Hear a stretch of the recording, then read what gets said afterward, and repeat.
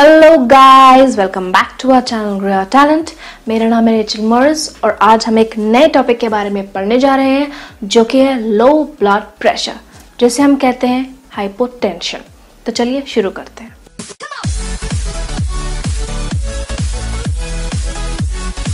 तो गाइस अब हम पढ़ने जा रहे हैं लो ब्लड प्रेशर के बारे में, जिसे हम कहते हैं हाइपोटेंशन हाइपोटेंशन एक ऐसी कंडीशन है जिसमें कि आपका ब्लड प्रेशर गिर जाता है। जब आपका हार्ट बीट कर रहा होता है तो जो आर्टरीज हैं, जो ब्लड है, वो आर्टरीज में पुश करते it puts pushes against the arteries and the pushing of the blood is known as the blood pressure ये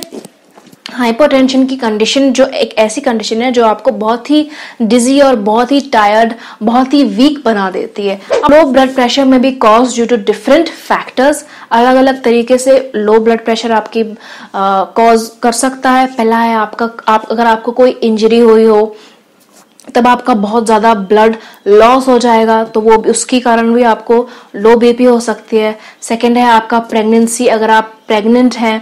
तो जो ब्लड की डिमांड है, वो डबल हो जाती है, दुगनी हो जाती है हाई हो जाती है, जिससे कि आपका ब्लड प्रेशर नीचे हो जाता है। फिर है वीकनेस जब आपकी बॉडी में डिहाइड्रेशन हो जाता है, आपकी बॉडी में वाटर की कमी हो जाती है, तब भी आपका लो बीपी हो जाता है। और आपके हैं नेक्स्ट है आपका मेडिसिन अब कुछ ऐसी मेडिसिन होती हैं जो आपको डिजी फील कराती हैं या आपकी बॉडी में ऐसे कुछ चेंजेस लाती हैं। या कुछ ऐसी मेडिसिन भी होते हैं जिनके आप जिनके साइड इफेक्ट्स होते हैं तो उस कारण भी आपका ब्लड प्रेशर गिर सकता है और आपको हाइपोटेंशन हो सकता है।